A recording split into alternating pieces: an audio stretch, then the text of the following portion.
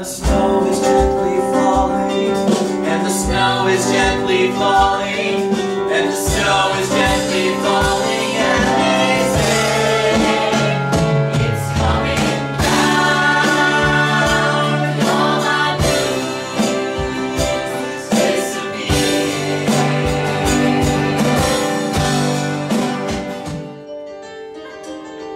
It's a perfect place to begin our story, which begins with a man who by December 31st is no longer in a holiday mood.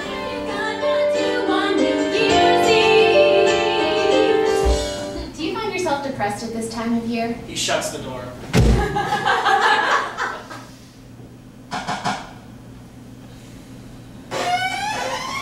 Same chick. This time of year when the days are short and the nights are long, some people's eyes don't get enough bright light.